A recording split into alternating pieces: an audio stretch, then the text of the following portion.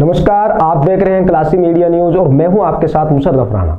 चलिए शुरुआत करते हैं इस वक्त की बड़ी खबर के साथ। उत्तर प्रदेश के जनपद हापुड़ के थाना बहादुरगढ़ क्षेत्र के गाँव ढोलपुर स्थित बंद पड़े भट्टे पर रावस उठाने के नाम पर किया जा रहा है मिट्टी का खनन। वहीं आपको बता दें कि शिकायत मिलने पर एसडीएम गढ़मुक्तेश्वर विजय वर्धन तोमर ने टीम के साथ मामले को गंभीरता से लेते हुए खनन हो रहे संस्थान से दो लोगों को गिरफ़्तार किया है।